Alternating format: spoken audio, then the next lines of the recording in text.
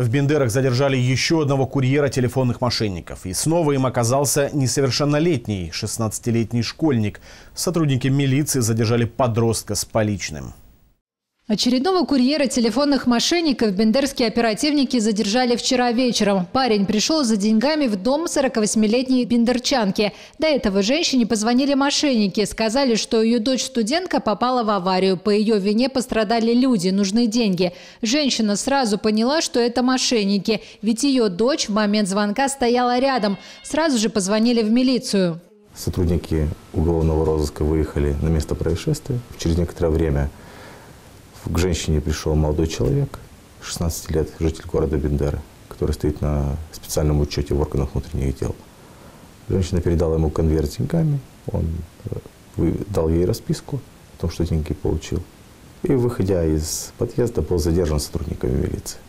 Задержанный школьник рассказал, что работу курьером ему предложили в Телеграме в первых числах мая. И как раз в эти дни мошенники начали активно названивать жителям Бендер. В милиции уже заметили, если идут телефонные атаки, значит мошенники нашли курьера, и он согласился работать.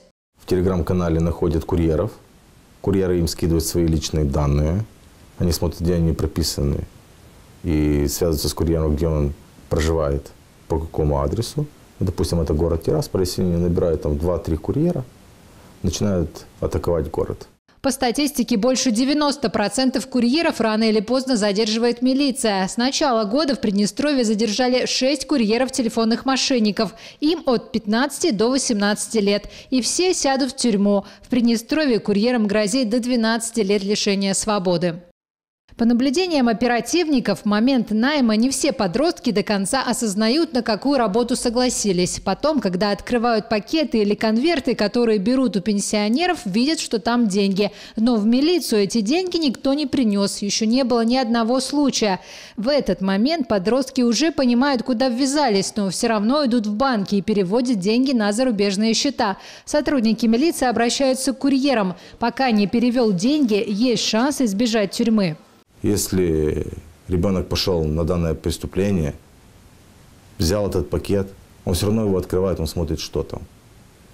Надо необходимо сразу же, незамедлительно обратиться в милицию и сказать, что вот со мной случилась такая ситуация, и тогда ребенок избежит уголовной ответственности. 16-летнего школьника из Бендер об опасности работы курьером предупреждал друг. Он ждал в такси, но курьер решил испытать удачу и взял первый заказ. Он оказался и последним. Теперь ему грозит реальный срок. Деньги жительницы Бендер вернули. Ирина Руснак, ТСВ.